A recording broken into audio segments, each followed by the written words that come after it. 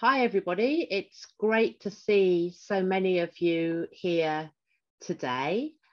Um, I'm going to be presenting about qualitative evidence synthesis in a Campbell context. If you just bear with me for one moment, I will share my screen. My name's Ruth Garside. I'm based at the University of Exeter in the UK. Um, and I'm an associate professor in evidence synthesis with a particular interest in qualitative evidence synthesis and mixed methods. Um, I'm also the co-chair of the Campbell Methods Group, so my plan for today is to give a brief introduction to um, qualitative evidence synthesis, why we do it, um, the stages, and some examples of different methods of synthesis for qualitative research. I'm very happy for people to ask questions. So if there's anything that I'm saying that is not clear that you want me to expand on or give more information, um, or something is not clear and you want me to clarify the point that I'm making, um, please feel free to use the chat or to raise your hand. Um, uh, Yashika is going to be monitoring the chat and the hands. So I'm very happy for you to interrupt if you want to know um, more about anything that I'm saying.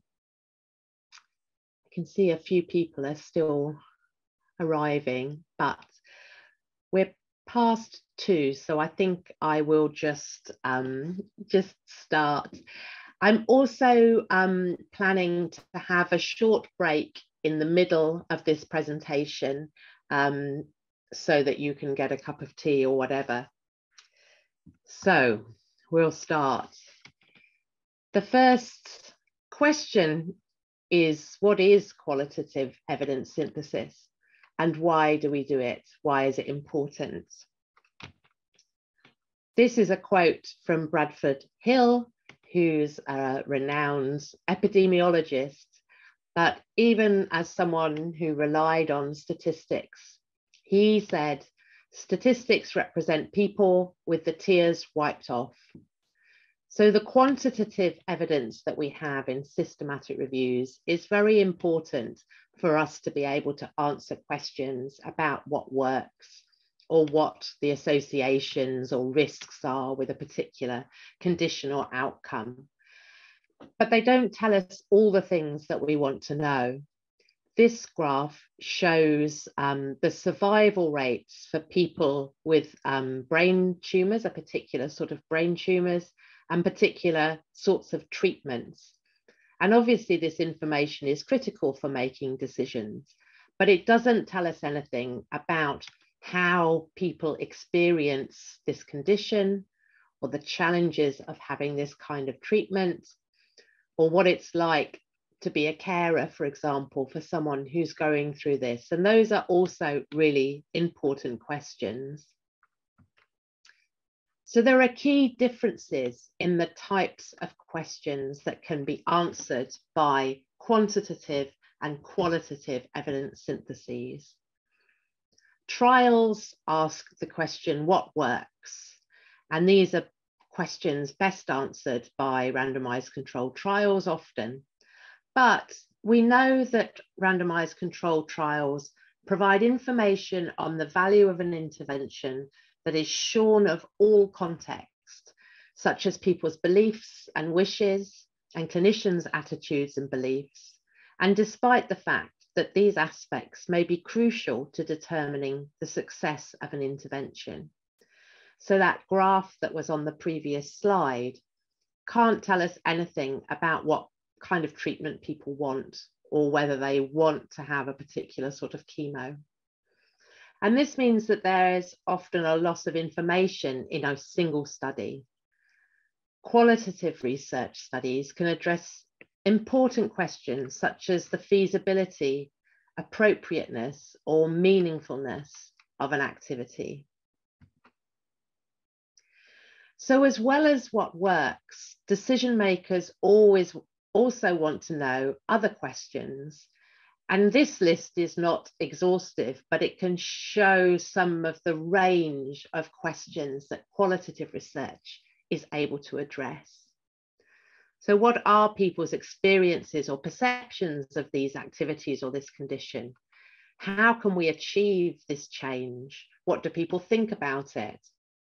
sometimes it can help think about why there is variation by context or experience in intervention effectiveness, or help to identify unintended consequences which are not necessarily measured in a trial context. Qualitative research can also help to elucidate which factors might help or prevent an activity or an intervention from happening and can also provide information about how different stakeholders value different processes or different outcomes. Another way of thinking about the sorts of questions that a qualitative evidence synthesis might be useful to answer is to think about policy or practice cycles. So this graph shows the stage of the policy cycle in the left-hand column and then some examples of the sorts of questions that might be useful at this stage of the policy making cycle and which qualitative research might be able to address. So initially, when policymakers are hoping to explore, understand and diagnose the nature of a problem or the scope of a problem or issue, it might be useful to look at relevant stakeholders' views or experiences of that problem or issue. And depending on the question, those might be different sorts of stakeholders, consumers, healthcare providers, social workers, educationalists, and policymakers. Qualitative research might help to understand why a particular problem has arisen or how to understand or frame a problem conceptually. So qualitative research and qualitative evidence can help to address those issues um, before the policy um, decisions or before the policy cycle starts. And then there might be the stage of looking at different possible policy options to try and address the issue. At this stage, it can be useful to understand how different stakeholders value different policy options and outcomes and their opinions and views about those different policy options. It can also give you an indication of how acceptable it might be to the population that you're hoping to impact to um, implement this policy and how feasible it might be in the current setup. It can also start to deliver insights into how an intervention might work, and this can be especially useful for complex interventions. Once a policy option has been selected, it can be useful to explore how to bring the policy about. So explore implementation strategies for a particular policy option. So qualitative research and qualitative evidence synthesis can look at the factors which are likely to affect the implementation of a policy, such as the staffing, training, context, um, elements that would need to be in place for this to be successful. And it can also elicit the um, views about different implementation strategies uh, to support policy being put into practice. And then finally, once the policy has been um, enacted, it can monitor the, you might want to monitor the effect of a policy option. And that can include questions about the factors which influence how the policy is being implemented, the fidelity, that is whether it's being implemented as um, it was originally designed, um, and also whether or not there are unexpected or adverse consequences.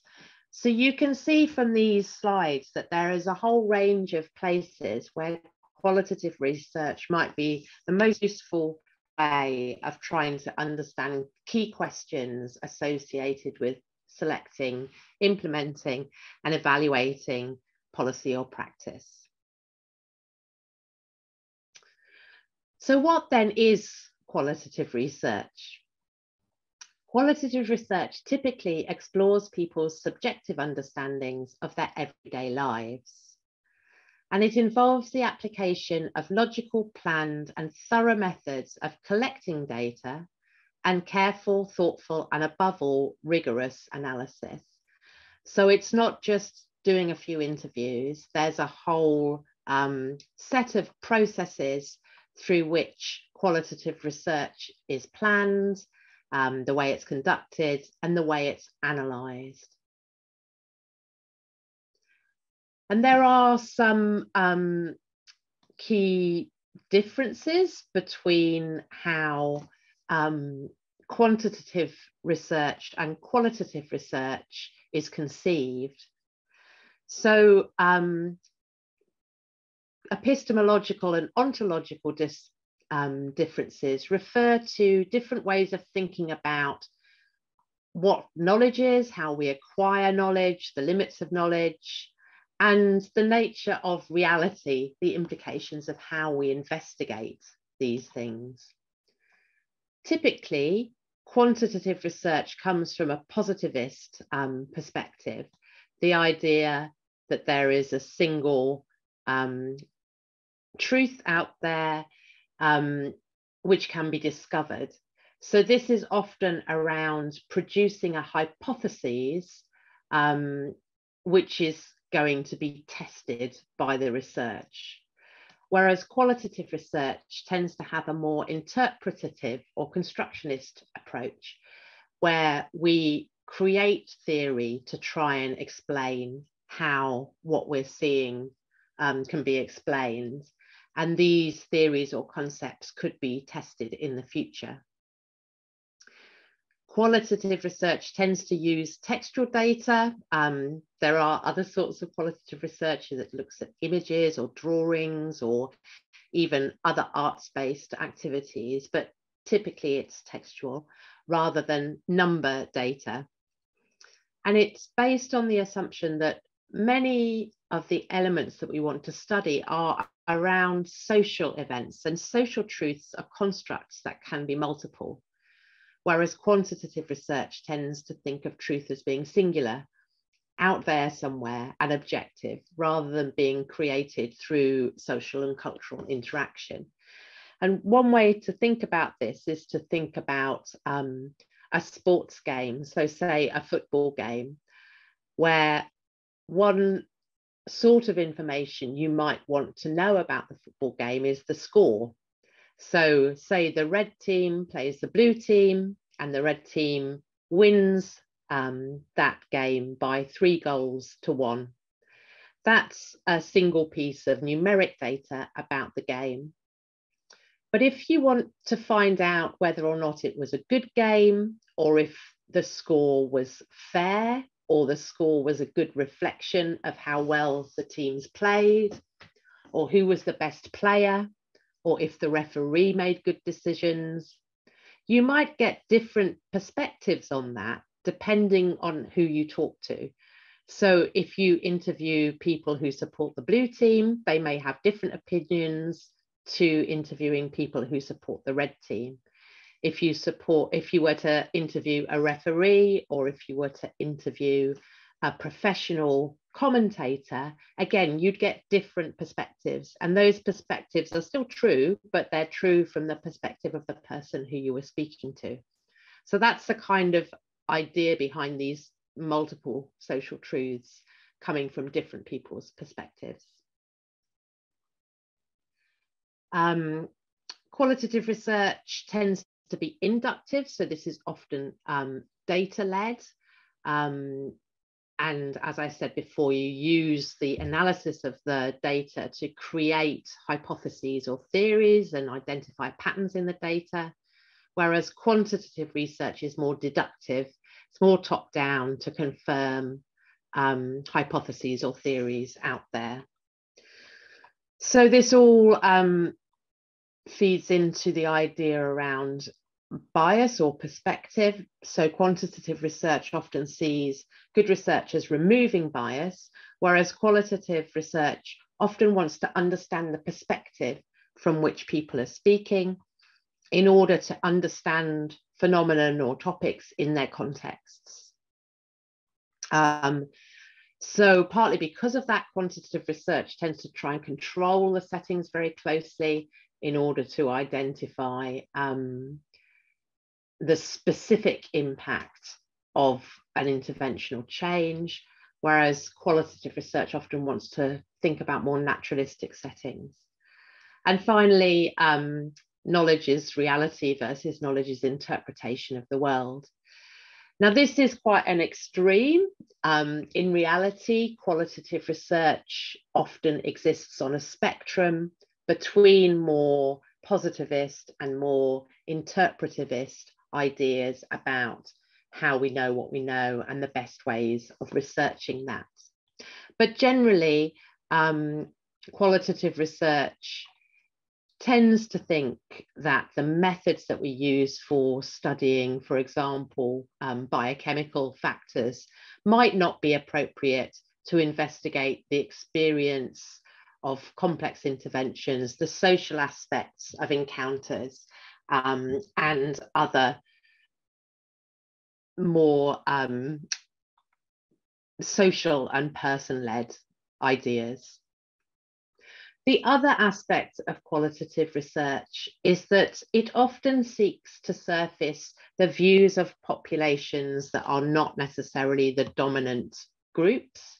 So it may have an explicit purpose to um, speak to people from, for example, minority ethnic groups or people um, groups of women or other people whose voices may not be heard in the dominant discourse about a particular topic. Um, so it may have an explicitly sort of political gain to give voice to those who might otherwise be more marginalized. So in terms of the implications of this for systematic reviews, on the left-hand side of this table shows the typical steps of a systematic review of quantitative research with a pre-specified research question, pre-specified detail of the search, the explicit inclusion and exclusion criteria, pre-specified outcomes, prejudged quality criteria, um, and approaches which aggregate or pool the information into one finding, which increases the precision of a treatment effect. For qualitative um, research and qualitative evidence synthesis, there tends to be more flexibility in all of these steps, which allow um, the approach to be refined as you encounter, encounter the different sorts of data.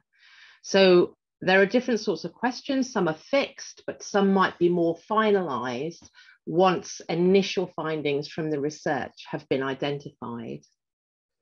The search strategy might be refined through the project, either because additional searches are need to, needed to identify important information which was missed in the first um, search, um, or because if you return a lot of information, it's not always easy or desirable to synthesize all the research on a particular topic. It can lead to quite thin findings. And so ideas like purposive sampling or um, taking the idea of data saturation on board are possible strategies for that. I can just see a couple of questions um, come up in the chat. Um, so somebody has asked, how does one generalize qualitative data outside of its own subjective context? Which is a really good question. And um, I'll talk a little bit more about this in a, in a moment, but just as a, um, an observation. There are a number of ways that you can do this, depending on the sort of synthesis that you do. Um, one is that if you find common findings across a range of settings because the papers in your synthesis come from a range of settings or from a range of populations. That can help your confidence that the finding is applicable beyond the original context in which it was found. The other way that you can, um, and we tend to call it, it transfer findings rather than generalize findings, so transferability rather than generalizability. If you're developing concepts or theories which try to explain your findings, often those more conceptual findings can be applicable across settings beyond where the original data was collected. So I hope that um, answers your question. I'll talk a little bit more about that in a minute. Um, so yeah, in terms of the other stages of systematic review, inclusion and exclusion might be refined through reading the papers again as the um, the kinds of papers that you're identifying become clearer in terms of their relevance to your um, question that you're interested in. Um, out, outcomes or more commonly findings of qualitative research are likely to be inductive. So they come from what you identify in the papers that you identify rather than being um, pre-specified. You might have some very general issues that you're interested in at the beginning, like people's experiences of a particular intervention, but the detail of those findings will be developed through the synthesis. And in quality appraisal, although we do have tools to appraise the quality or trustworthiness of qualitative research, which again, I'll talk about a little bit more detail in a moment, but there's also the suggestion that the quality of a particular paper can be judged through the contribution that it makes to the synthesis. So those papers, for example, that are more um, have more rich data or where the, um, the theoretical frameworks are better developed might have more of an impact on the synthesis than other papers which are relatively thin or quite descriptive.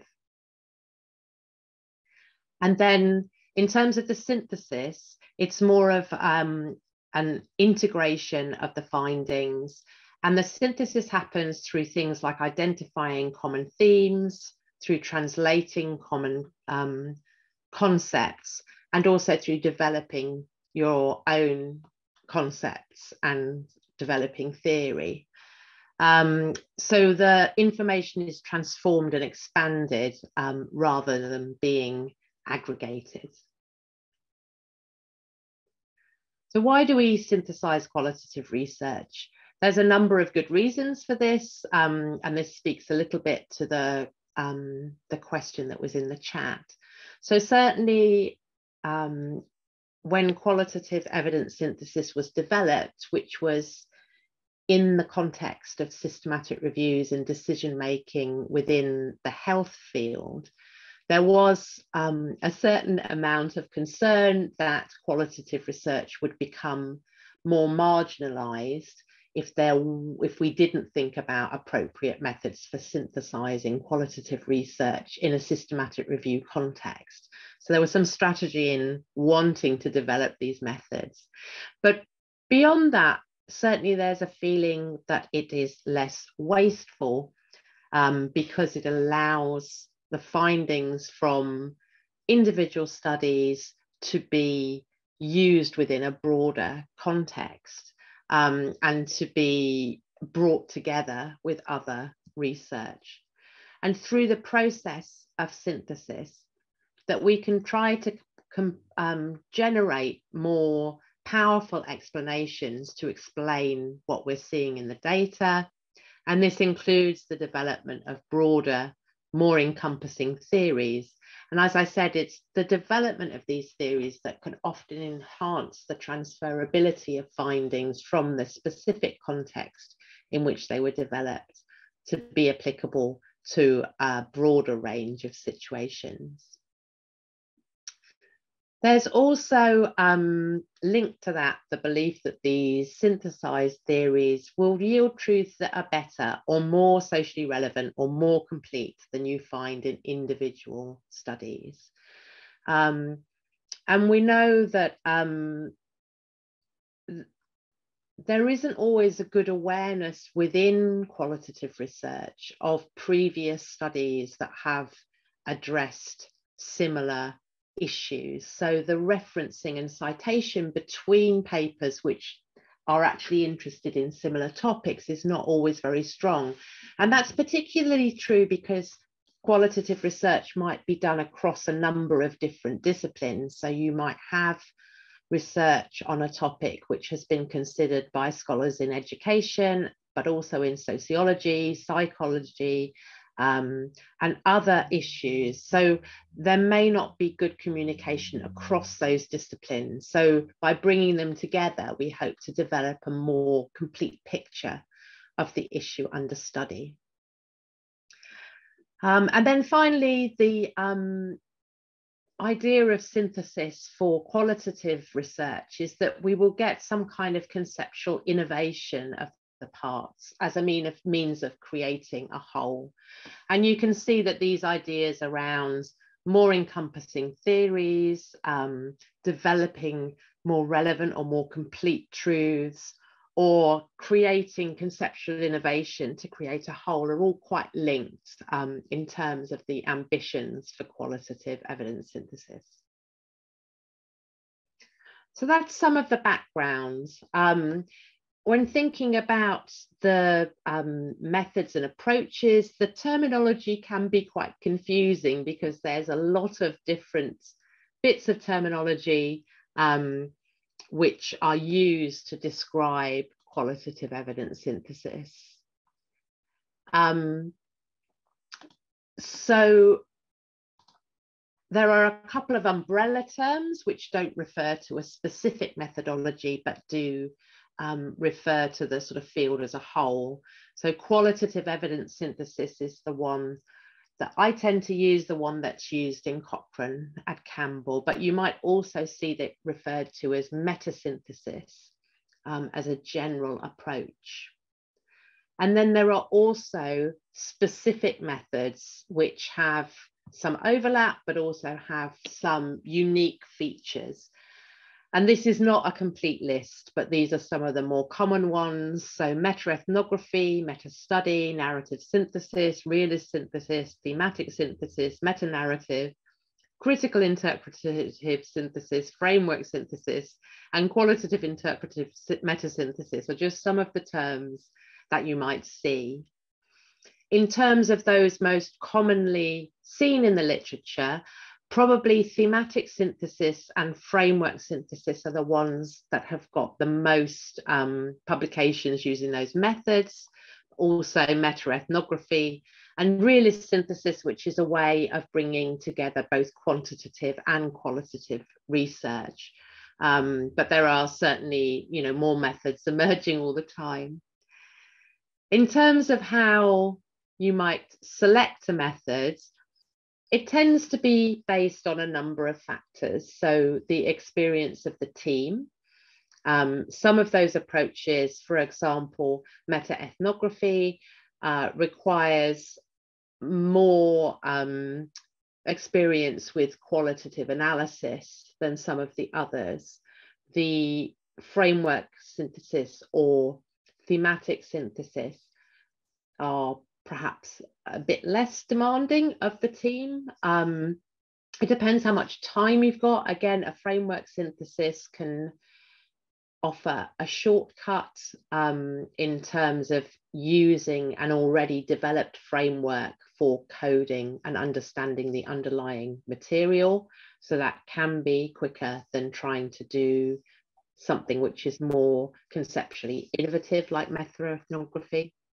It, but it also depends on the purpose of the review and the audience purpose. So if um, the audience is interested in understanding the range of ideas that have already been identified in the qualitative research, that might be a framework or thematic synthesis. Whereas if there is a purpose to generate more conceptual understandings or develop theory, um, something like meta-ethnography or some kinds of thematic synthesis might be better for that.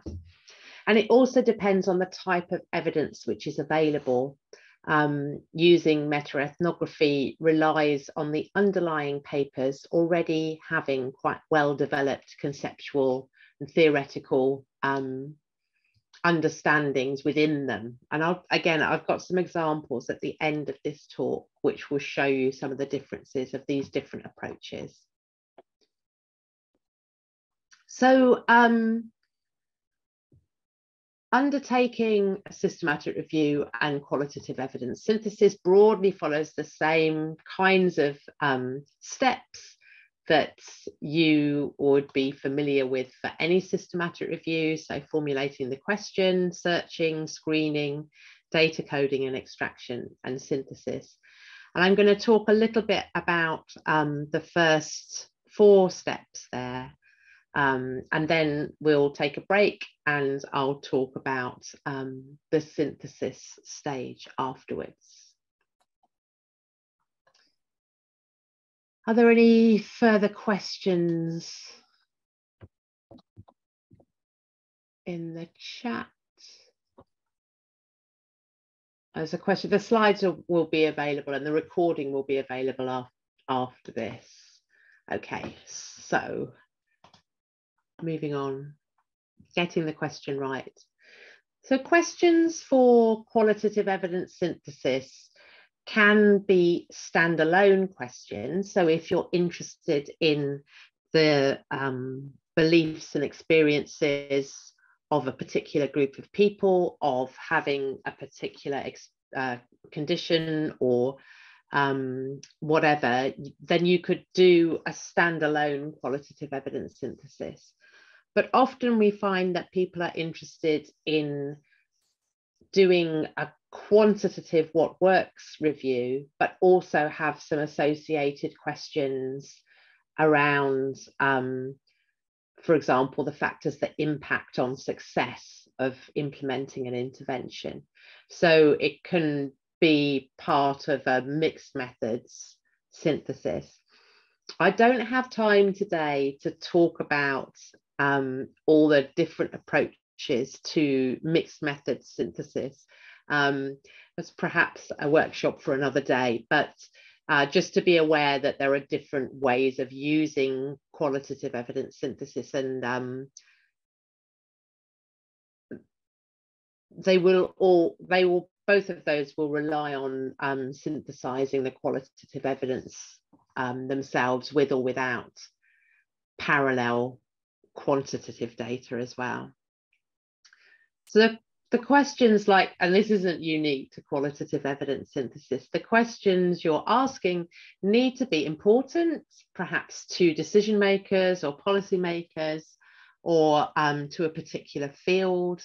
They need to be questions which are answerable by qualitative research and questions which add to the literature or to the understanding of a particular strategy gets so long it's really important that you gather all of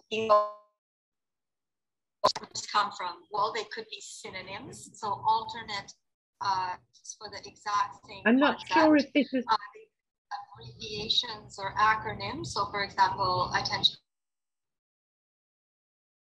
Sorry, I wasn't sure if that was a question coming through or if that was some interference.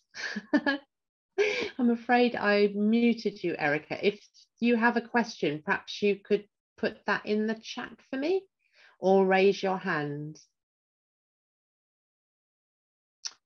Okay. So, so with um, qualitative evidence synthesis, as I said, there are the poss there is the possibility that the question evolves over time. Um, so questions can be exploratory. So the question acts as a compass to give you an idea of the direction of travel that you want to do, or alternatively, questions can be more fixed. So they are more like an anchor um, for the review and more like you would expect them to be in um, an, any other sort of systematic review. But we can use structures um, to help define the boundaries of the question. And these can also help inform other stages of the review, such as defining the search terms, developing your eligibility or inclusion exclusion criteria, and perhaps also to think about how you start to structure the synthesis. So I'm just going to show you some examples of frameworks for qualitative evidence synthesis. I expect many of you will be familiar with the PICO framework for reviews of effectiveness. So these are alternative frameworks for reviews of qualitative evidence synthesis. So the first one is a variation on um, PICO.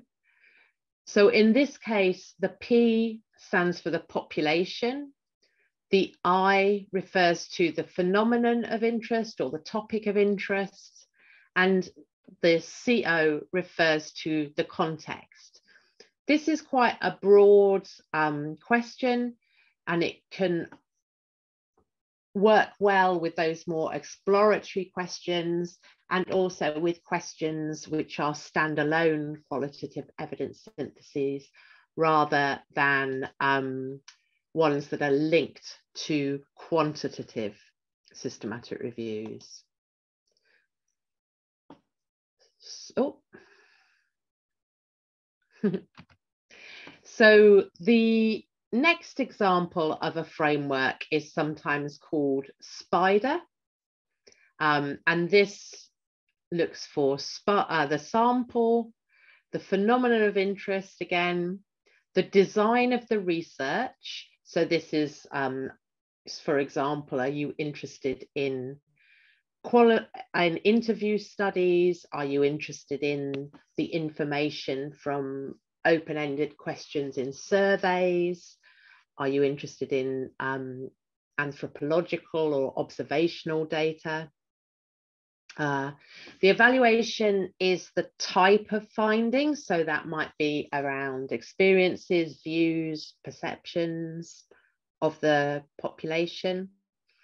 And finally, the research type. So are you interested in qualitative research alone, or are you interested also in mixed method studies?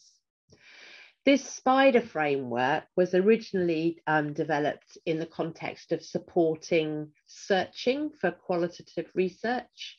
Um, and it can also be used for, you know, mixed methods type questions.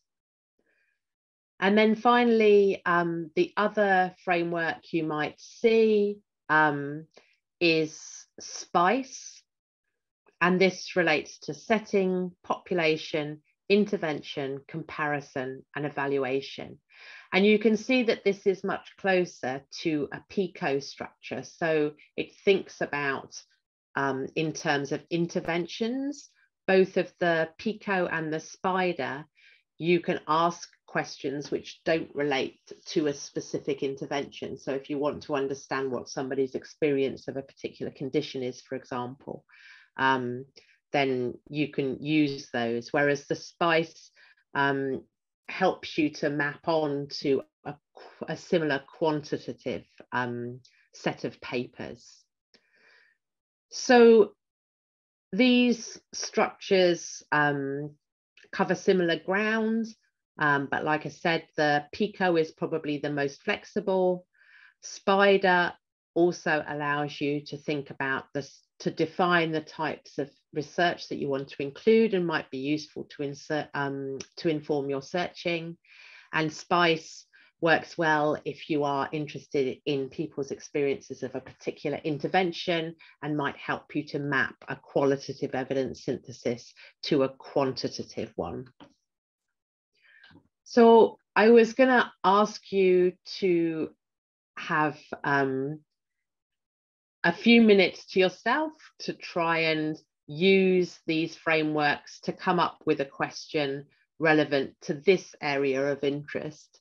So we at Exeter did a review to try and understand what the potential impacts of robo pets in care homes for people with dementia was. and robo-pets are, as you may guess, they're kind of robotic animals um, which respond with noises and movements um, to your interaction with them. And they've been promoted as a tool for people with dementia um, to provide companionship and interaction. Um, and these are three examples. So the this one is, is Paro the seal, which is a baby seal. There are also robotic cats, robotic dogs. So we were interested in robo-pets in care homes for people with dementia. And I'm just going to give you, well, there's so many of you, I don't know if we will manage to get any feedback on this, but I just ask you to think about what the question might look like for a qualitative evidence synthesis interested in robo-pets in care homes for people with dementia. If you want to use one of these, just you can just choose one example. If you want to try and design a question using Pico, Spider or Spice, you can put it in the chat and I'll just give you a few minutes to think about robo-pets in care homes for people with dementia and see if you can put a question in the chat that relates to that. I'll just give you a few minutes.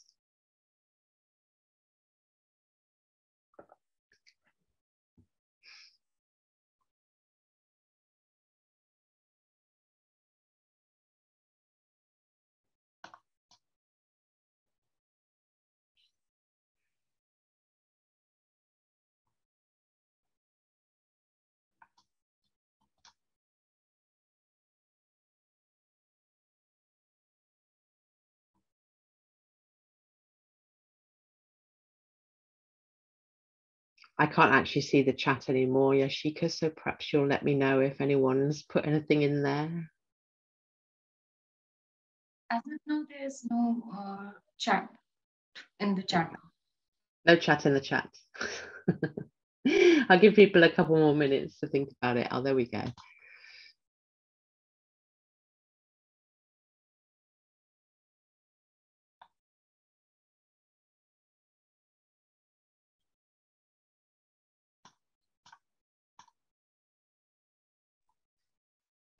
We just have received a question. It says, what is the impact of uh, robo-pets on people with dementia in care homes?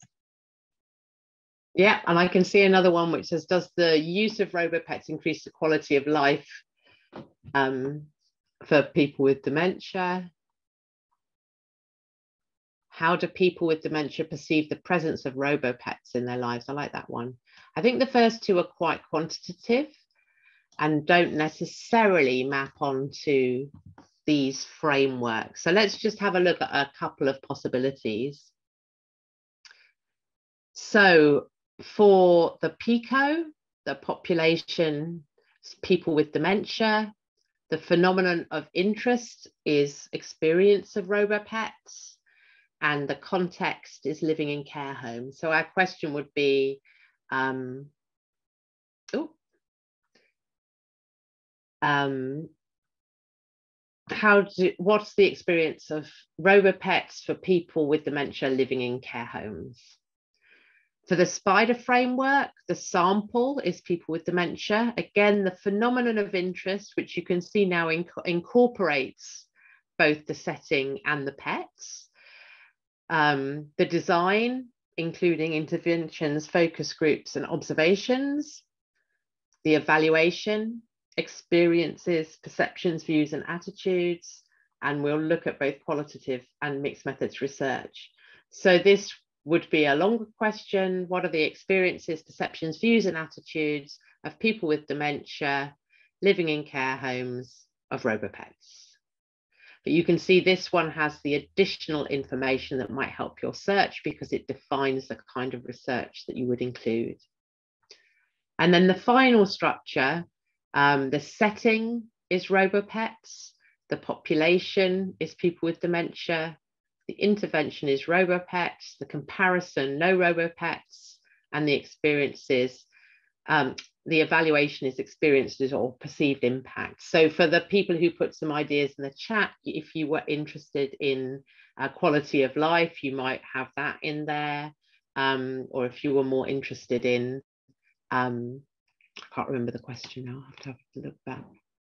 Uh, a couple of people are dropping them in now using those structures, talking about mental well-being, happiness, um, experiences of people with dementia. So you can see that um, compared to some of the questions that I'm getting in the chat, these um, types of structures and the way that qualitative research thinks about these um, questions um, doesn't tend to predefine the sorts of outcomes that you're anticipating. So people have talked about quality of life, mental well-being, um, happiness. Those might be things that come up in the um, in the research that we identified, but we probably wouldn't predefine those because we want to keep it open. So we're allowing the research and the people in the research to define the things that matter to them. So we probably wouldn't predetermine quality of life, mental well-being, happiness, although those things may come up in the research that we find. So these are frames in terms of experience or experience, perceptions, views, attitude, experiences, perceived impact. Um, so that's quite helpful, I think, to as a way of thinking about the inductive analysis, so being more data led rather than already theorizing and then testing those theories.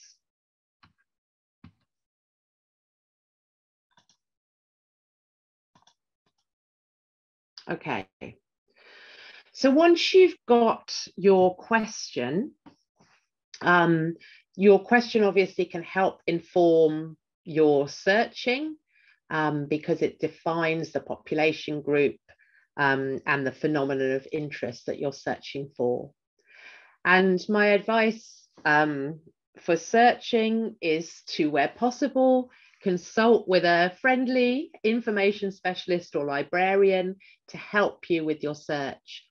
And this is partly because searching for qualitative research can be more complex than searching for reviews of effectiveness. And there are a number of reasons for this. You might find a greater variety of terminology is used around the phenomenon of interest. Um, sometimes because it tends to use more lay language than formal language in the way that um, the questions are formulated. So that can make it more complicated to identify relevant studies. Qualitative research is also often poorly indexed um, in databases. So the um, qualitative uh, tag in Medline, for example, is not that old. Um, so if you want to go back in time, it, their studies are not necessarily indexed as being qualitative research. As I said earlier, the research may also be spread across disciplines. So you may need to search more databases in order to make sure that you've identified all the relevant literature for your question. And that um, can take a little bit more planning. Um, and some disciplines don't have the same traditions of writing titles and abstracts to be easily found. They have different motivations. So sometimes the titles and the abstracts are designed to intrigue you or draw you in to want to read the paper rather than being um, a full summary of what the research contains. So sometimes it's difficult even to tell from the title and the abstract whether the paper contains primary research at all. Um, and it's also not always easy to tell if the, um, the topic is of interest to your review. So again, this can make the identifying studies um, more challenging. And that leads on to the next point about non-database approaches. So what are traditionally called supplementary methods like citation chasing, finding sibling studies and expert contact can be really important in um, qualitative evidence syntheses um, because of these other challenges of searching within databases for qualitative research. Um, and there are also a number of suggested qualitative research filters, um, more or less sensitive or complicated. And again, it's useful to talk to an information specialist about the appropriateness of these filters for different databases. So I'm, I'm not going to, I'm not an information specialist, so I'm not going to spend a lot of time talking about searches, but um, just to highlight that there can be some challenges around identifying studies. So once you have identified your studies, um, obviously quality appraisal is still a really important step in um, qualitative evidence syntheses, although there are still some debates involved here, even asking whether or not we should um, do quality appraisal. And there are a number of reasons for that, which we'll talk about in a moment. And then if we do decide to do that, how we should do it. There's a huge number of tools available. I think at the last count, there were more than 100 tools potentially for um, assessing the quality of a piece of qualitative research.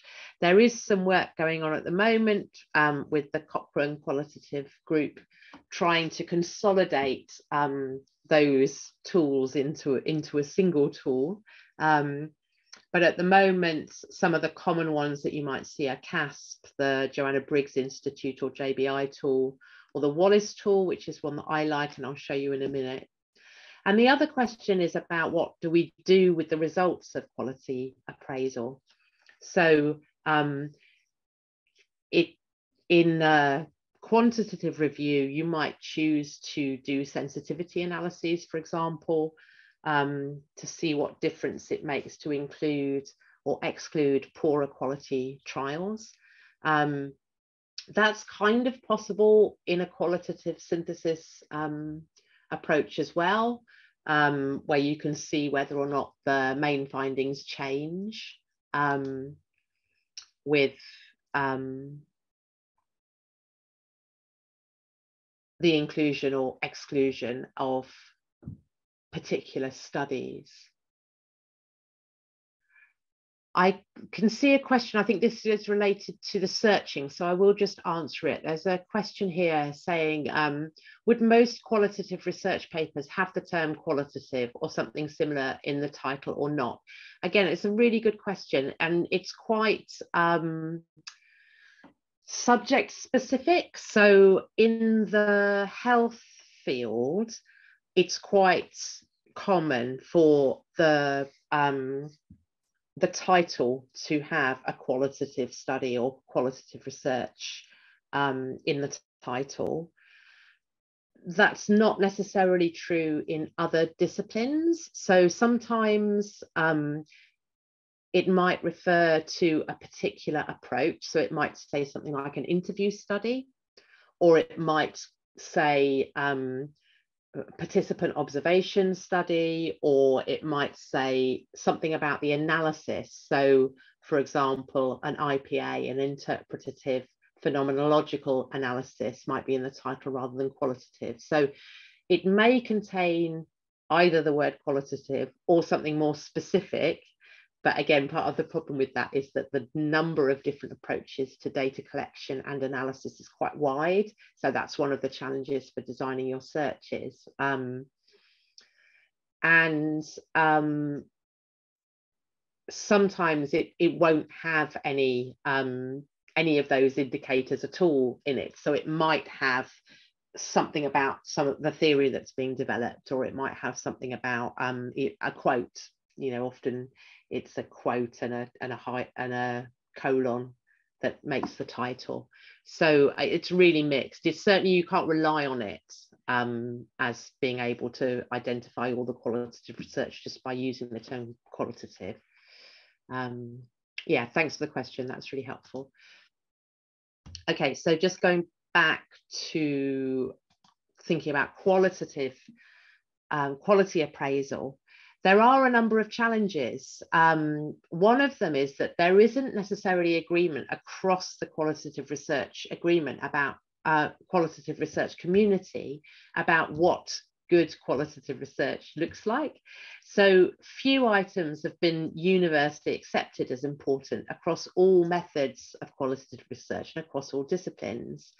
Um, so that makes it challenging to use um, a specific checklist because you may be assessing research against criteria that the researcher themselves wouldn't recognize as being important to qualitative research. Um, yeah, um, and we, like I said before, there are numerous tools and checklists in existence. And there may be a lack of fit between what qualitative researchers and systematic reviewers agree are important. So often um, systematic reviewers are very interested in process. So they want to know, you know, have you told me how you got your sample, how you recruited people. Have you told me who was in your sample? Have you told me exactly how you did the analysis? Whereas qualitative researchers may be more interested in the quality of the analysis, which is a much more nebulous um, thing to assess. And in my following slide, I'll show you some of the ideas that qualitative researchers have suggested for important elements of quality and qualitative research. And you'll see that it's quite a different way of thinking about it to typical systematic review approaches. Um, Number four on my challenge, it's not always clear what we're actually appraising. And this is sometimes to do with the way the tools are constructed, where it's not clear whether it's clear reporting or clear conduct that you're actually interested in. And that's one of the issues I have with CASP, that it's difficult to un unpick that. Uh, number five, there's quite often a degree of interpretation required, even with a checklist. Um, and there was a study done a while back that showed that um, reviewer judgment of how good a qualitative piece of qualitative research was was only marginally improved um, in their agreement using checklists than not using checklists. And I think that's probably still the case. I know there's always some interpretation, even in quantitative assessments, but I think it's more so in the qualitative. Um, as I said, there's still not clear um, exactly what we do with poor quality studies um, and whether if a poor, what we've judged as a poor quality study identifies similar findings to a high quality study, what what does it actually mean then that, that that the study is poor if its findings are resonant with other better quality studies? Does that is that even really meaningful? Um, and yeah, as I said, there's ongoing work um, that the Cochrane Group are doing to try and consolidate items from checklists. But just to illustrate that issue of the um, the difference between the way that qualitative researchers might think about validity or quality and typical systematic review considerations. These are some of the um, papers that have tried to talk about um, validity, trustworthiness, or um, quality in qualitative research.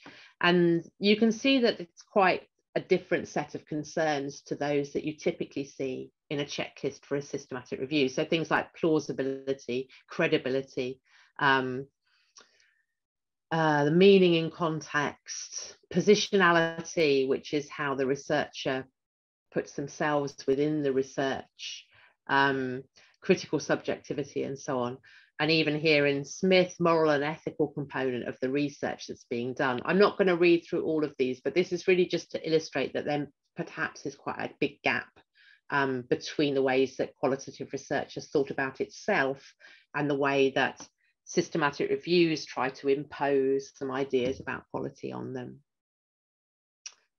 So, as I said, a couple of the most commonly used ones, the CASP tool, and I really like this one from Wallace, um, which has a set of um, 12 questions, relatively straightforward, that are answered yes, no, or can't tell.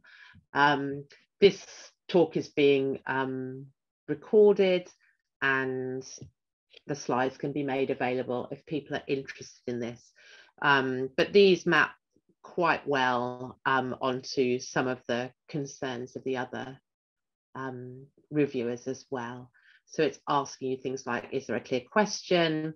Is there a theoretical or ideological perspective of the author explicit? And if this influences the study, is the study design appropriate? Is the context adequately, adequately described? Is the sample adequate? Is the data collection adequately described and is it rigorously conducted? Um, are the findings substantiated by the data?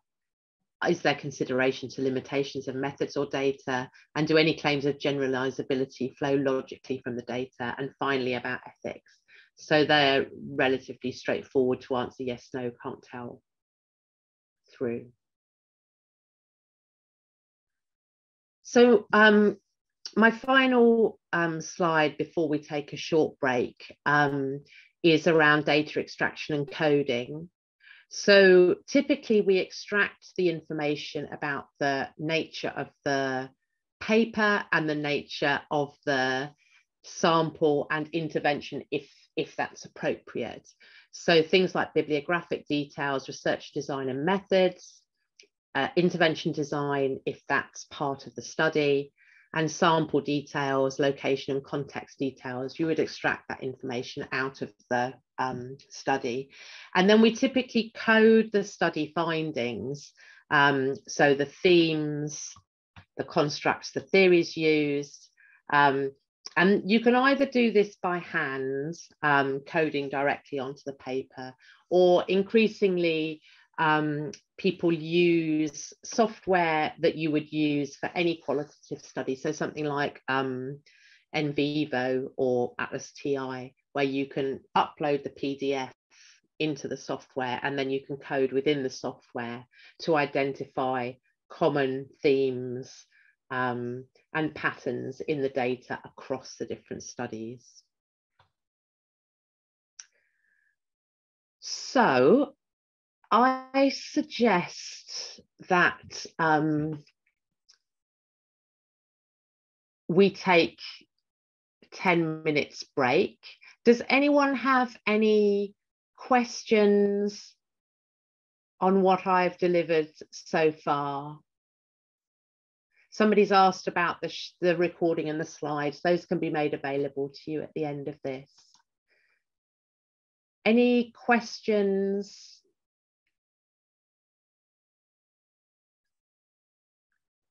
can either put them in the chat or um, put, just ask me actually.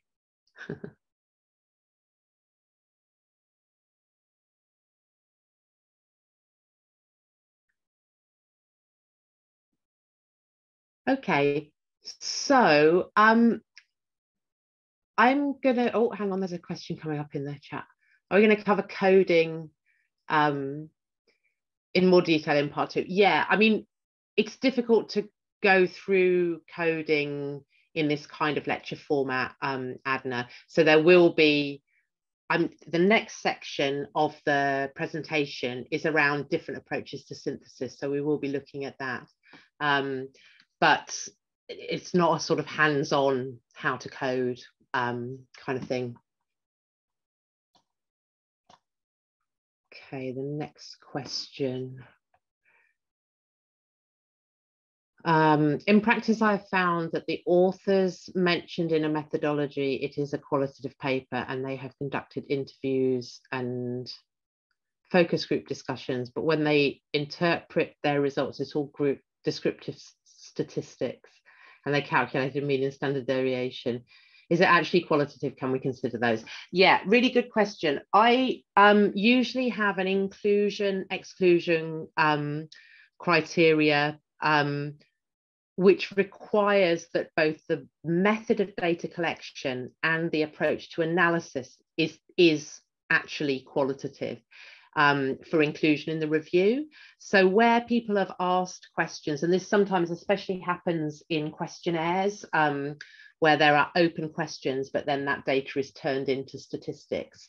And I would not include that um, as a piece of qualitative research. I'd put that in my exclusion criteria. So I'd only include papers where the analysis is qualitative as well as the method of data collection.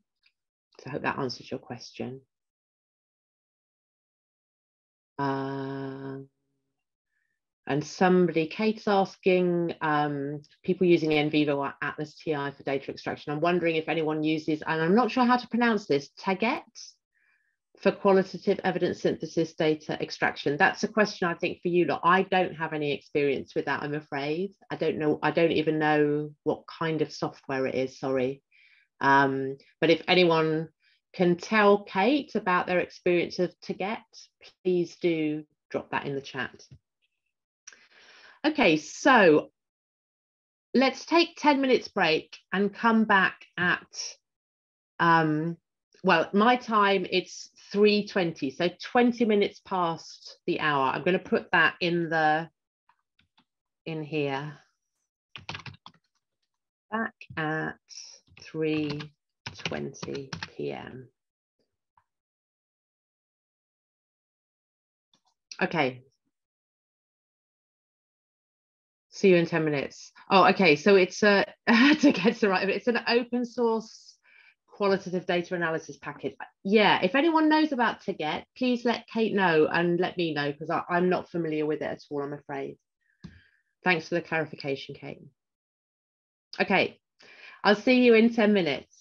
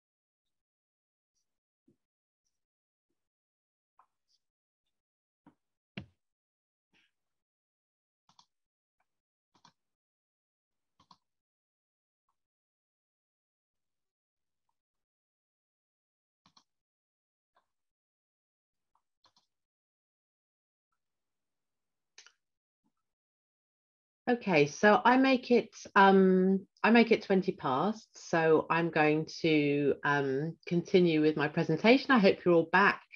Alison, I see your question. Um, if you don't mind, I'll deal with that at the end, um, just because of time. Um, but yeah, really interesting questions. I'll come back to you. Okay, so different approaches to synthesis. So as I said at the beginning, um, there tends to be a, um, a range of approaches from the more deductive and positivist to the more interpretative end. And that's the same for synthesis. So um, some synthesis approaches are more aggregative and pooling of quantitative data would come under this um, heading, where you're kind of summing up or aggregating existing themes um, or existing data and it's a more deductive approach. So if you do something like a framework synthesis, and I'll talk about that a little bit more in a, in a minute, where the concepts are more clearly predefined, this can be a more deductive, aggregative approach to synthesis. The alternative is more interpretative. So this is more arranging, juxtaposing and interpreting existing findings in um, qualitative research to try and offer a meaningful overall picture of what the research is telling us. So this may, rather than test theories, um, may help to try and develop concepts and theories to explain what you're seeing. And it's a more inductive approach of um, analysis. So you're led by the data rather than starting from a particular framework. And methods of synthesis um, sit along this continuum. In this diagram, the more configuring approaches are on the left-hand side, and these are the ones that generate theory, and the interpretation happens during the synthesis to build meaning, um, through to the more deductive approaches on the right hand side, where interpretation happens largely before the synthesis um, through a more structured framing of the questions and potentially structures to um, explore the findings that are developed before you start the types of findings that you might get from qualitative research and qualitative evidence synthesis tend to be quite expansive. So it's not like you're trying to find one effect size in a quantitative review, but it might be something like a really rich description of a phenomenon or topic of interest. You might want to develop or define new concepts, create a new typology. Um, one of the very early meta-ethnographies created a typology of different kinds of approaches to medicine taking um, that go beyond the traditional compliant non-compliance and created sort of groupings of patients who behaved in different ways around their um, medicine taking. It might be a, a description of a process, so a, um, a, client pathway, for example, and the experiences of that. Um, it might develop explanations or theories or develop strategies. So it's a much more sort of expansive list of types of findings. And what this looks like um, includes, and again, this depends on the type of analysis that you're doing, but also on reviewer preferences, might include, almost always includes text. So quotes from the original participants, quotes from the original researchers' analyses, sometimes tables which illustrate the way the themes have been developed, so themes and sub-themes, different classifications and the papers that um, contribute to those. It might include diagrams or conceptual figures which try and show how the themes are linked to each other to give you one kind of holistic picture of what things look like. And it can also include things like photographs and artwork, images from the research. And it's helpful to think of these um, layers of interpretation. How do we make sense of the world? It comes from the writings of Schutz in, in sociology. So there are first order constructs. So these are our everyday ways of making sense of our world. And we see these in things like participant quotes and descriptive themes um, descriptive themes being when the um, researcher organizes the ideas into descriptive themes, but doesn't necessarily add any interpretation to it. But then there is the researchers' work which creates second order constructs. And these are social science researchers' interpretations of this common sense world, which links it to academic concepts and theories. And then on top of that, there might be third order constructs. So these are your interpretations um, of the researchers' interpretations. And some people say, well, third order constructs don't really exist because it's all just researcher interpretation. And I understand that argument, but I think in terms of thinking how we build up um, the coding and the understanding of the data, it's helpful to think of these three steps. So this is an example, um, and this speaks a little bit to the question about the coding, although it's quite brief, but this is taken from a synthesis around preventing cardiovascular disease um, and these are two quotes from participants in two different papers, so paper A and paper B. The first quote, pamphlets involve a lot of reading. Um, food sampling, which was part of the intervention, uh, gives them the opportunity to feel relaxed and ask questions. And the second quote from a second paper is Sue was great. Sue's the name of a, a health advisor. She had lots of information and lots of advice. So these are first order constructs. This is what the participants in these two different studies said. And the researcher interpretations in these two um, different papers were in the first one, practical demonstrations have more impact than the provision of written information. And the second quote with Sue having lots of information of advice the researchers said program champions allow personalized information about the interventions to be disseminated. So that was what the researchers interpreted from the original data. And as reviewers, we thought, well, actually, these um, two examples, food sampling and the program champions, are actually functioning in a similar way and we joined them together into our own theme. So we coded these separately to say that um, interventions that allowed personalized support, whether that was through food sampling that allowed people to feel relaxed and ask questions, or this program champion who had information and advice. This was all really about personalized support and allowing relationships to develop, which facilitated questioning and might have more impact. So you can see how we built up from the um, first and second order constructs in these two original papers. And we coded these initially um, as being about different sorts of activities, but eventually we combined these into a single concept, which was around personalized support and developing relationships. And that's the way that we built up across the different papers. And you can see there as well how this might allow, in answer to that other question about how we can apply findings to more contexts, because we sort of lifted this up a level and said it wasn't necessarily about the specific nature of that personalized support. It could be food sampling, a champion, or some other structure, that the important function of that was around developing relationships, allowing questioning and developing personalized support for people. And so that kind of finding can potentially apply across a number of different settings and encompass different specifics of the intervention. So we've only got about half an hour left. So I've got three quick examples of different approaches to synthesis um, to give you an indication of the way in which these work and the sorts of outputs that they um, produce. So the first one is a framework synthesis. And this is taken from quite an old paper now that I was involved in. This was actually one of my very early qualitative evidence syntheses. Um, it was a, a, policy question and it was asking us to um, look at what factors influence the uptake of information to prevent skin cancer. Um, so the aim was to understand the elements that contribute to successful or unsuccessful conveyance of skin cancer prevention messages and their uptake by the public. That's what we were asked to find out. And we identified a number of different papers that looked at people's experiences of um, and beliefs around preventing skin um, cancer.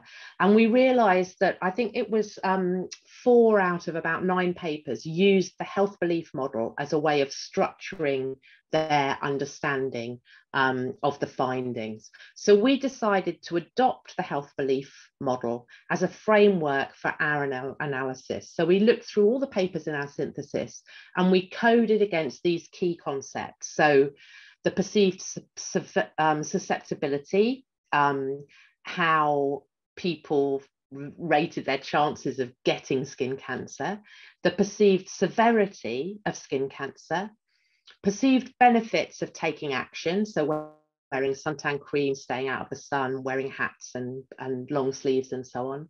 The barriers to doing that, um, cues to action, so things that encourage them to take action, and their confidence in their ability to perform those actions of, of covering up and protecting themselves.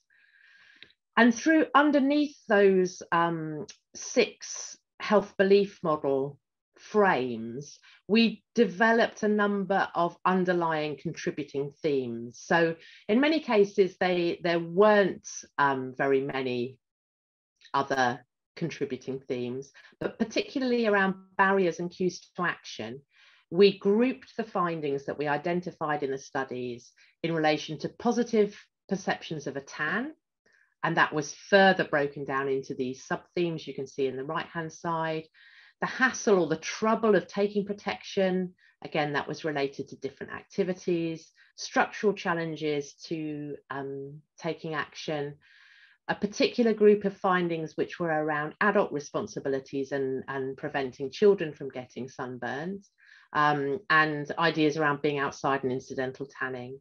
And there were also a number of cues to action that we broke down into contributing themes. So these included knowing people with skin cancer, media awareness campaigns, and sources of encouragement.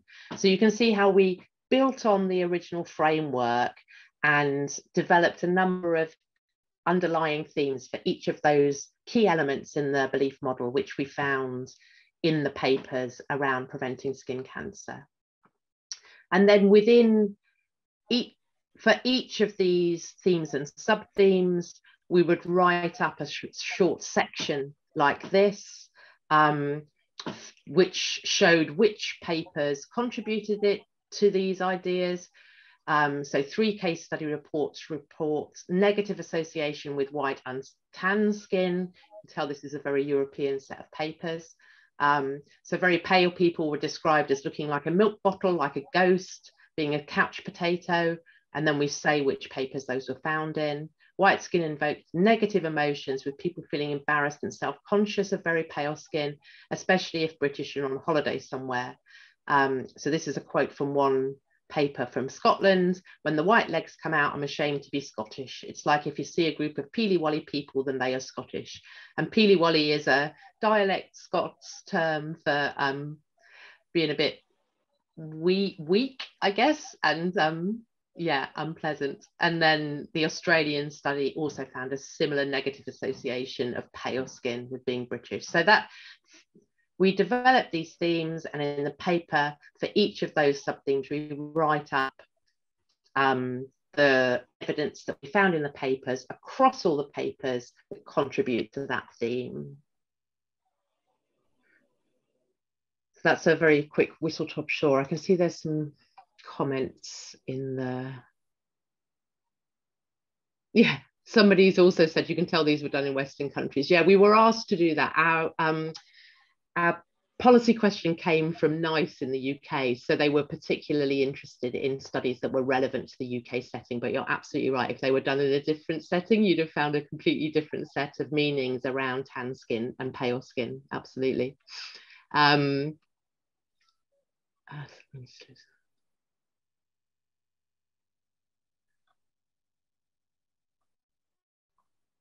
Okay, so I don't think there are any direct questions there. So um, thematic synthesis. So again, this is one of the very common approaches to synthesis that you're likely to see.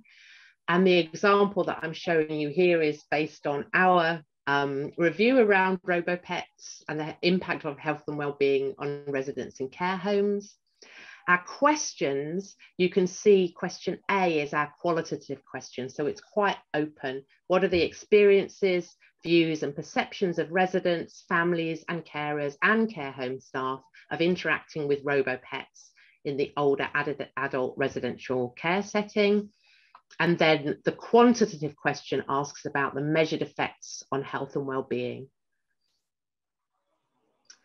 So um, just to show you the scale of the work that we did, we had an overarching synthesis of quant and qual work, and that included 10 qualitative studies and seven randomized controlled trials, and then two mixed method studies, which appeared in both parts.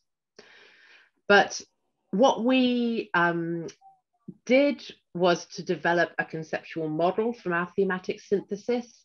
Um, each of these circles represents a theme. So we had themes about the RoboPet, about the resident, about resident quality of life and person-to-person -person interaction. And within each of those, we had sub-themes. So the RoboPet um, there were themes around the responsiveness of the RoboPet, entertainment or stimulation value of the RoboPet, something to care affection, companionship, and emotional bonding, and examples of residents confiding or taking the opportunity to communicate with the robo pet. So this is a similar um, example in a way to the framework synthesis but the so where you've got themes and sub themes but we've both we've presented it differently we've tried to show how they relate to each other um, and we've presented it not just in a table where each of those things are separate but as a as a sort of coherent whole and again within each of these um, examples, there's an accompanying text.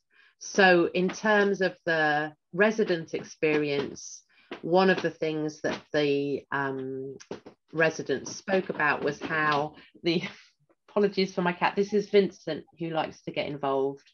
Um, so for the residents, he's not a robot, he's a real pet. um, one of the things that residents talk about was they reminisced about their own prior experience of pet ownership when they engaged with the um, with the robot pet. And so again, within each of these themes and sub themes, there'd be a paragraph which incorporates quotes from um, and observations from the papers. So in this case, five studies of the 10 noted that robo-pets appear to awaken memories which increase communication with care staff and family members. And then the references of the studies that found that. Um, in some cases, the robo-pet could facilitate more focused memories of specific activities or time spent with animals or pets. Um, so participant J could not visualize Cuddler, which is a robo-pet dog. Um, the texture and fur reminded her of um, her recently deceased dog and invoked fond memories of the animal that she missed holding and touching. So for each of these um, sub themes, we would identify some text around that. And then the other thing that we did, and this is the only bit that I'm very briefly talking about mixed method synthesis, the quantitative study we were able to do some meta-analyses on some of these outcomes. So for example, um, two studies found um, measured agitation in the care home residents and the meta-analysis found a small but positive impact on reducing um, agitation. And so what we tried to do with this um, diagram was to show with these yellow circles where the quantitative research also spoke to these similar themes. So this diagram as an output from the um, qualitative evidence synthesis became a tool to synthesize the quantitative and the qualitative together by highlighting where there were um, findings relevant to the outcomes. So you can see that there is some overlap, but that also the qualitative evidence synthesis talks to quite a lot of other additional bits of information, um, including challenges about adopting robo pets in the care home. And also we, because we looked at um, different stakeholders, so staff and family, um, also had were included in the qualitative evidence synthesis. So we were able to give a sort of bigger picture. Okay, and then finally, meta-ethnography. So meta-ethnography is one of the older approaches. It's also one of the more sort of theoretical approaches, one that uses that kind of configuring interpretative approach. And this is taken from a review that we did about ADHD prevention in schools. Um, and this paper called ADHD Parent Perspectives and Parent Teacher Relationships Grounds for Conflict. Um, and we included six studies here. And the findings suggested that high quality teacher patient relationship, uh, parent teacher relationships, excuse me, um, were found to unfortunately be the exception, with mothers in particular often feeling silenced and criticised by the um, staff in schools. Uh, the findings showed commonalities with wider research about parents, but identified these grounds for conflict resulting from parental blame for parent uh, pupils' disruptive behaviour and ambivalence in the nature of the concept of ADHD uh, between both um, parents and, and teachers. And again, this was part of a much bigger um, review, but I'll just talk about this bit. So it was it was part of a series of reviews that actually included two quantitative and two qualitative evidence syntheses, which we tried to bring together in this one massive um, report. But um, like I said, we're just um, talking about this one bit of paper which looked at the question what are the school related experiences and perceptions of parents of pupils diagnosed with ADHD? Um, so this shows first and second order concepts from the studies. So in order to develop these, we translated key findings across the different papers to identify those common conceptual areas that were identified within the papers and spoke across the series of papers that we included.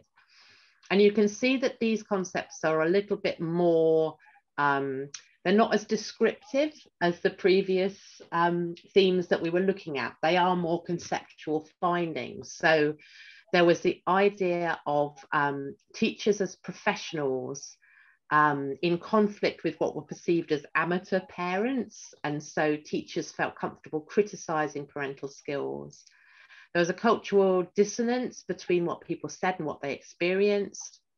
A concept called weapons of the weak, um, refuting criticism. So this was about parents who felt very diminished by the school's um, attitudes towards them. And so they were coming from a position of weakness and tried to refute the criticism that the um, teachers were putting on them. They also, the parents felt silenced, um, and there was a clash of expectations between parents and teachers. There was also a theme around parents' perceptions that schools were the sites um, of the origins of ADHD so that the children responded to the structural constraints of schools in a way that um, exacerbated their ADHD.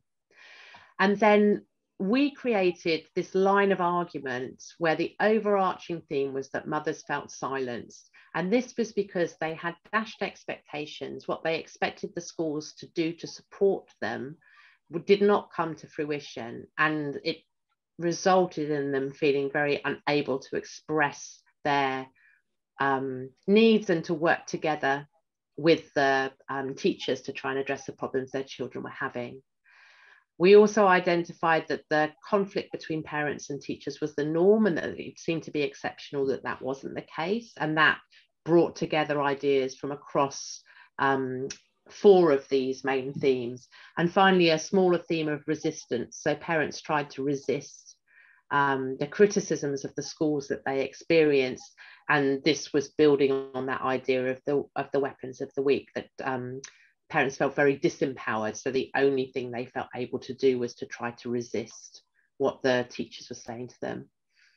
So you can see that these are um, quite more theoretical ideas um, and that these, these ideas that the reviewers developed are more um, abstract, if you like, than the descriptive findings of the examples that came before.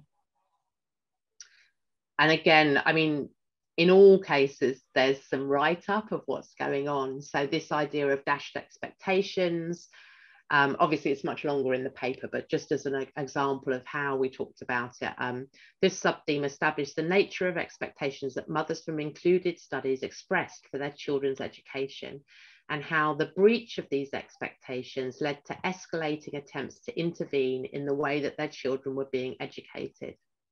The expectations of parents involved the well-being, education and socialization of their individual child, and they expected their child to be reasonably happy at school. Several mothers cited their child's unhappiness as a primary reason they attempted to intervene in the school. This is a quote from a mother he was very pale. He was very, he was more emotional. He was starting to pull his eyelashes. He developed a tic. And I thought he's obviously stressed. He's more stressed than he should be. And he was saying, I'd rather be dead than go to school. So these expectations that parents had about how their children would be um, managed in the education system was frequently dashed or, or um, you know, um, I can't think of a synonym. My brain's starting to go a little bit. Um, their expectations weren't met um, at all. So that's all I have in my presentation. Just a quick word about the various organisations that are involved in qualitative evidence synthesis. So Campbell is um, accepting qualitative and mixed methods systematic reviews. Um, and Cochrane are quite well established in doing that. Um, both are now accepting standalone qualitative evidence syntheses, although it's still more common, particularly in Cochrane, to have um, mixed methods um, syntheses.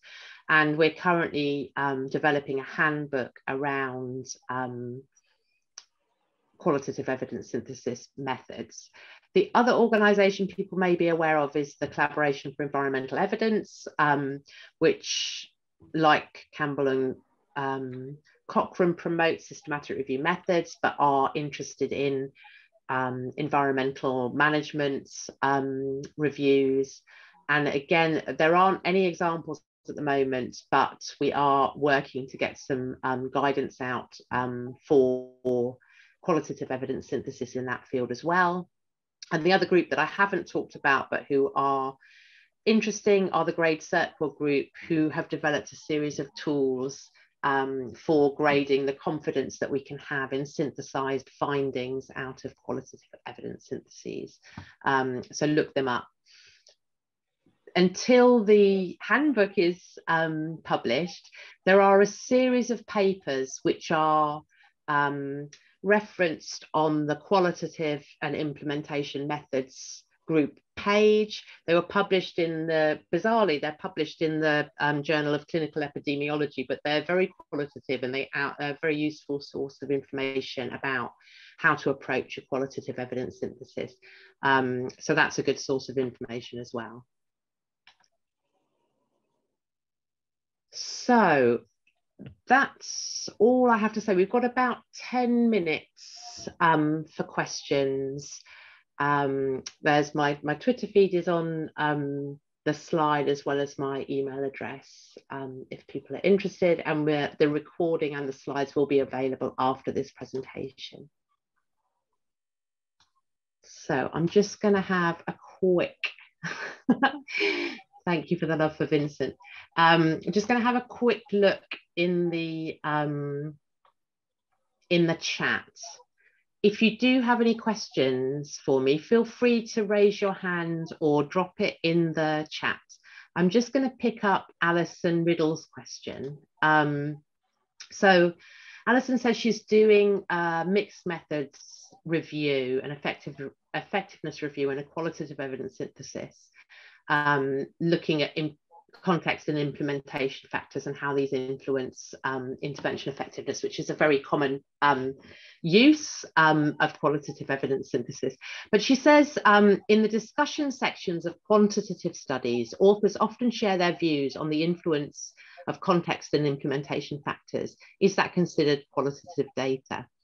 Um, she's interested in the views of researchers as well as the beneficiaries of the interventions. This is a really interesting question, Alison, and I think my perspective on it is perhaps more purist than some other some of my colleagues. So from my perspective, that is qualitative data, but it's not a qualitative finding because it's it hasn't been analyzed by a researcher.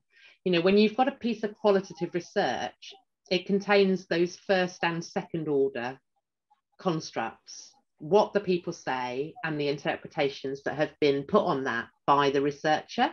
So, my opinion on this is that those discussion sections are the equivalent of an individual participant interview script. So, you've got a researcher's interpretation or group of researchers' interpretation written down but you ha- that hasn't been analysed by a researcher. So my view on this stuff is that you should analyze across all the discussion sections, identify common themes, and then you've got a set of qualitative findings that could be incorporated into your qualitative evidence synthesis. But I know that not all my colleagues agree and have treated that kind of evidence used it in qualitative evidence syntheses.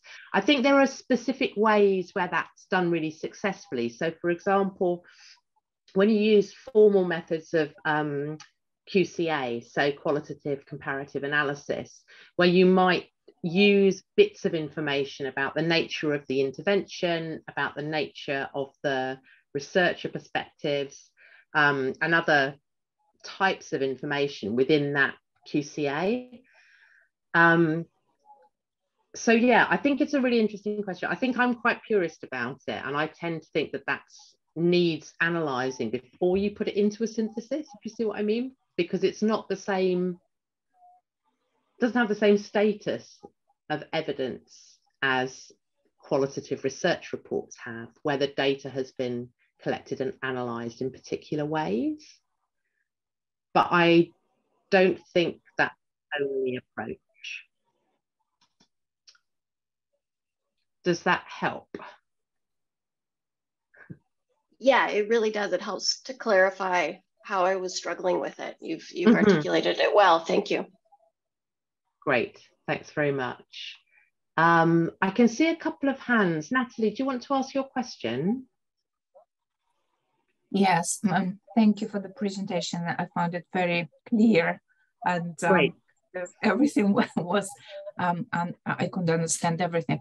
Sometimes, I mean, often, always, I would say, when I try to code, um, you know, participants' quotes and researchers' interpretations, you know, the first and second level construct, mm-hmm. would I find that I don't agree with their interpretations? I I understand because they probably had word limits and they, they could only choose one quote. But even in your example, I didn't see the personalized kind of care in the quotes which were there. Yeah. And the author's interpretations. How do you deal with this kind of conflict? Do you trust the researchers or should I trust the participants? I, I always feel very kind of ambiguous about that. Yeah. I mean, I think um, it's a really interesting question. And I think it's one of the reasons why I like metaethnography because it doesn't sort of contain that conflict because you are metaethnography works with existing interpretations and not the the direct quotes I think one of the things to remember is that um, you're only seeing part of the evidence that they have seen to support their finding. So I understand your perspective on that table that I showed about the the overarching theme, partly because I only had space for two examples on the slide. There were more studies that actually underlie that third order construct, but I just included two for simplicity. And I think sometimes some of that happens in the primary research write-ups, that there's more data behind it and they've selected a quote that perhaps doesn't resonate as well as some other quote might have done.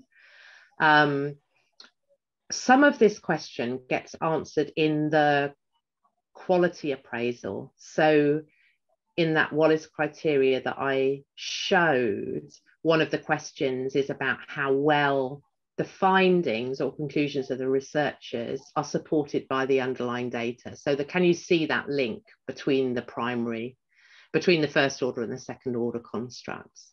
So some of that gets incorporated through your quality appraisal about whether you find that paper as a whole trustworthy or not. And you might then want to make some decisions about how much you rely on the findings of that study.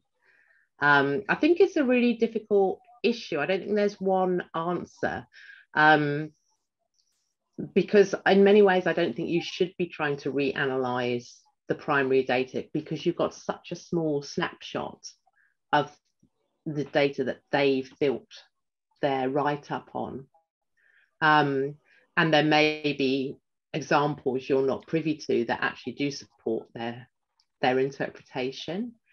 Um, but I also know that I've done work where I've used quotes for a different part of my synthesis to the bit that they've been used um, in in in the primary research. So I think it's a real juggling act, and it's a it's a really good question. I think it also illustrates that um, how important the researcher is in qualitative analysis, whether you're a reviewer or a primary researcher in generating the findings. You know, we are the research tool, and our our the robustness of our um, analysis is only as good as we are in many cases. So yeah, I think I it's a really good question. I think it is really challenging. I don't think there's a single answer to that.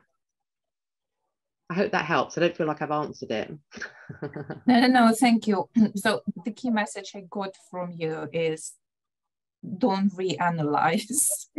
I think so. you do not have all the data. Mm -hmm yeah, yeah, you don't have access to everything that they have access to yeah. and maybe they've just made a poor selection of the quote that they've used to illustrate their point but you don't know what else they have underlying it yeah thank you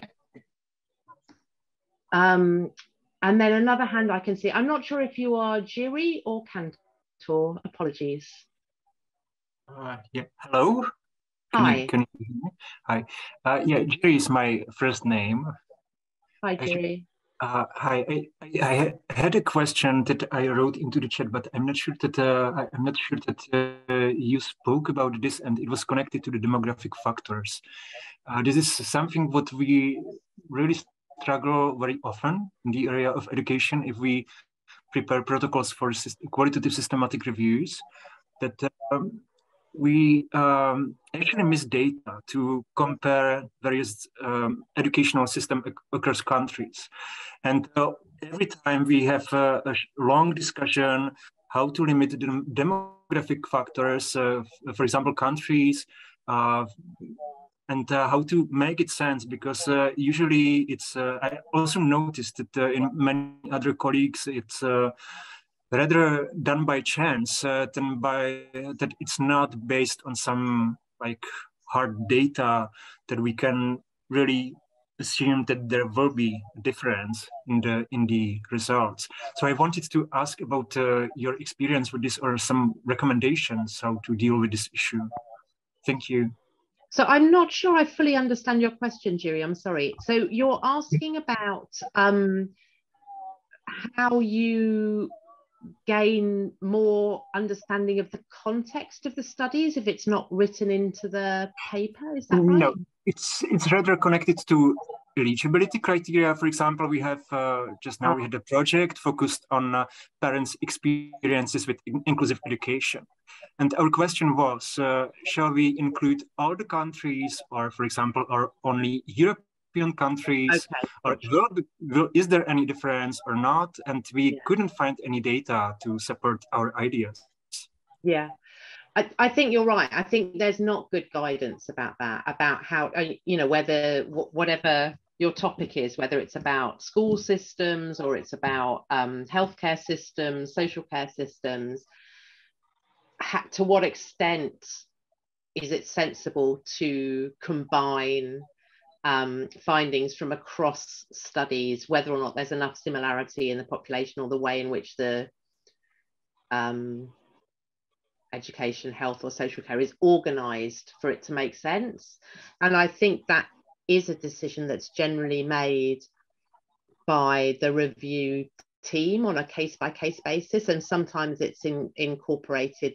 Um, you know, if you've got a policy customer, then they may say they're only interested in European contexts or sometimes we get English speaking contexts, which I'm never really sure about how sensible it is to combine across UK, America, Canada, Australia, New Zealand, you know, really vastly different um, environments, but we're often asked to combine studies across those sorts of studies. So I, I don't know of any good guidance. I think it is done on a case by case basis and it depends on the, the question you're asking, who the policy customer is, if there is one, and the specificity of the sorts of questions that you're asking.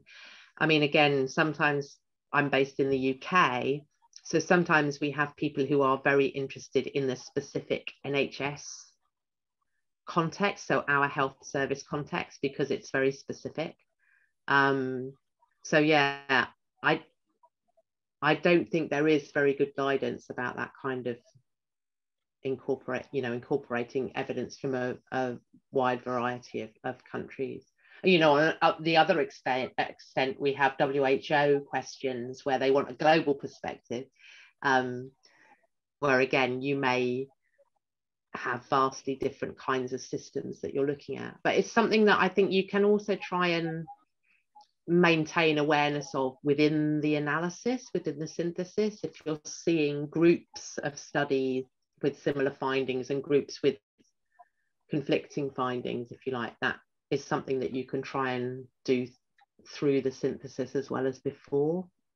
Sorry, I can't offer more directive guidance on that. Thank you very much. This is very helpful. Anyway. Thank you. Um, I can see a question in the um, in the chat about reporting on frequencies of themes. Half the time I see this and half the time I don't in qualitative research. Um,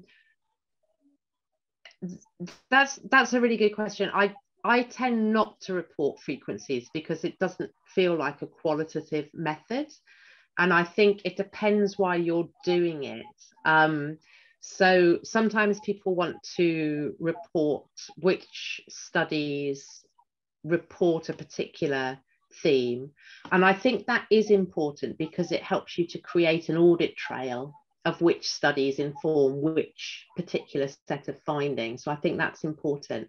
But I don't find percentages helpful because I, you know, it's qualitative research. You're not talking about a representative sample where you are trying to make estimates to a population level from what you're looking at. If what you're trying to do by reporting on frequencies is something about the confidence that you have in the findings. I really recommend you have a look at the CERQual information because the number of studies is only one part of what makes the underlying um, or makes the finding more or less, you know, one that you can have more or less confidence in. So um, the uh, framework asks you to look at methodological limitations of the underlying studies, the relevance of the underlying studies, the coherence of the findings in the underlying studies, as well as the adequacy of the amount of data. And so rather than, than relying on that very quantitative idea of the number of studies, you're actually looking at a more nuanced set of criteria for the studies that underlie the finding that you're looking at. So CERQual has tried to sort of move that debate on a bit by thinking about those different qualities of the underlying studies that inform a particular finding.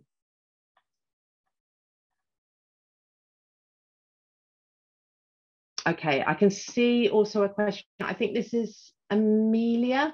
What if there are no participant quotes? Often in evaluation, no quotes are included. I'm about to embark on a synthesis of evaluation exercise. Curious to see how this will work. Oh, I think she's gone, but I will answer this anyway. Shame that I've missed her.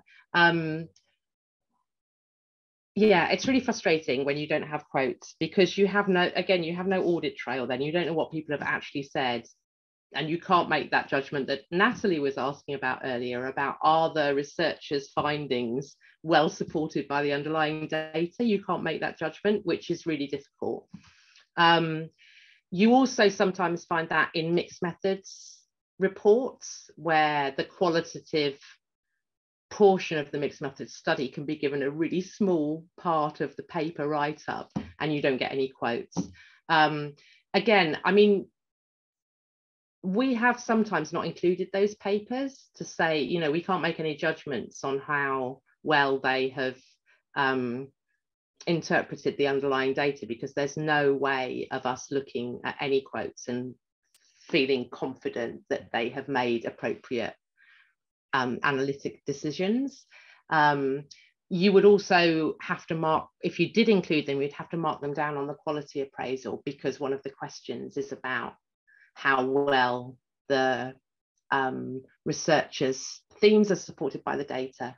Um, so that's another another aspect. But yeah, I think it's a real challenge and it can be quite frustrating. Okay, I see that we are over time. So thank you very much um, for being here. It was lovely to see so many of you. Thanks for your questions. Um, and yeah, I really hope it's been useful.